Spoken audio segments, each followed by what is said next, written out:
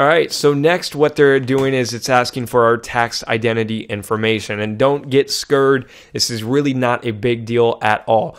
All they want to know is, you know, at the Amazon has, has got to send you if you if you're um, making tons of money on here, crushing it, making lots of sales, they got to send you tax forms. So they just want to figure out what kind of forms they should send you. So whatever state you live in, whatever country you live in, it's going to be a little bit different. So that's why they just want to figure that that stuff out. So really easy. This only takes a minute to do. Let's uh, go ahead and click the launch interview wizard button.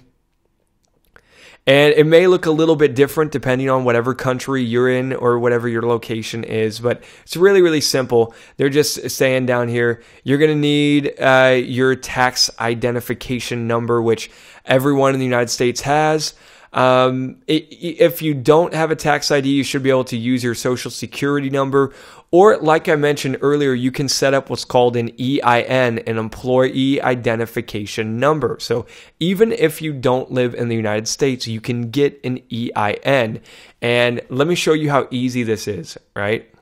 So let me show you this because I'm, I'm sure it's going to ask me for this info and I just want to quickly mention it before moving on. If you go to Google and just do a search for apply for EIN, well, you should see right near the top uh, on the IRS's website, they got a page here for apply for an employee identification number. And I'm not going to give you this direct link because who knows, they might rename it and then, you know, you wouldn't be able to find it ever again. But just go to Google, type apply for EIN, and then go to the IRS website. So let's open that up. And look, if you just go down to the bottom here, this is how easy it is to sign up for an uh, employee identification number. It literally only takes a few minutes to do, and then instantly they're going to give you a number here. So, again, even if you're not from the United States, you don't live here, what you can do is you can set up a business here, set up an LLC in Nevada, Wyoming, or you know any other place. Um, and then what you can do is just you know, get a bank account in the area and and then once you've done that, then you can apply online now.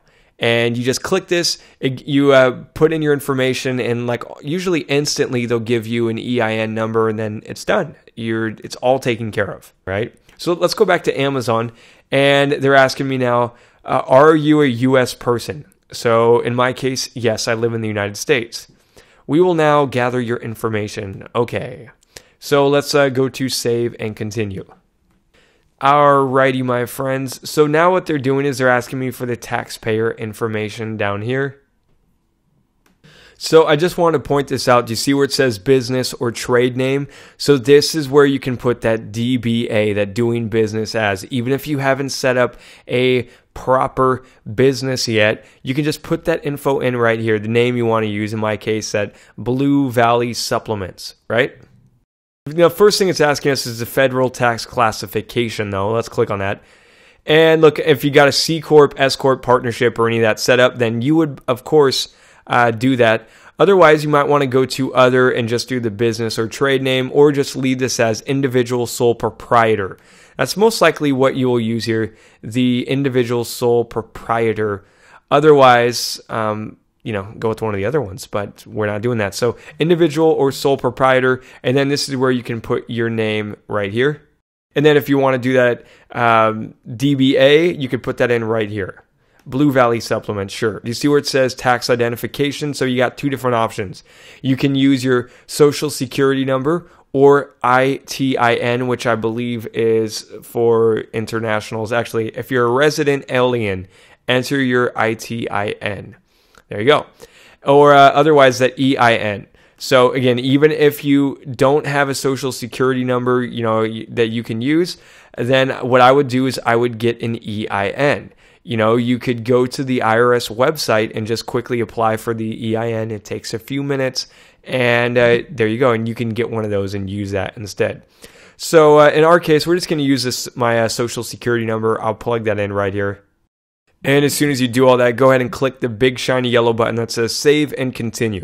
All right, so now it's uh, just giving me a review of the information that I put in. You should probably double check this, make sure that everything is correct. So that's all the only reason why they're asking you the tax information is just so they'll know what form to send you at the end of the year. That is all. So go through it, make sure everything looks right, and as soon as you've double checked everything, go down to the bottom. Right, then, as soon as you do that, what you want to do is click the button that says Save and Continue. And it's asking us if you want to consent to electronic 1099 form. Yes, we'll consent to that. Consent to this. Yes. Real simple, underneath where it says electronic signature, go ahead and put check marks in all these. I mean, as long as they do apply, you'll probably want to double check to uh, make sure that these are true. I just put checks in all these. And then we're going to do, let's go down to the bottom and you can sign right here. So just type in your name in this box. Then put in your email address. And as soon as you do that, click the submit button. Hey, so check it out. They just said that they have received my tax information interview info, and they said that, hey, we're just going to wait to get this approved. So just sit tight. You know, it may take a few hours, it may take a day or so, but as soon as they do that, then that stuff's all taken care of. So now what I want you to do is go down to the very bottom of this page. And down at the bottom, you're going to see this button that says exit interview. Go ahead and click on that. All right, now it's taking me to this page and it says tax interview completed. So next what I want you to do is click the button that says complete registration. Go ahead and click on that. And they're processing it.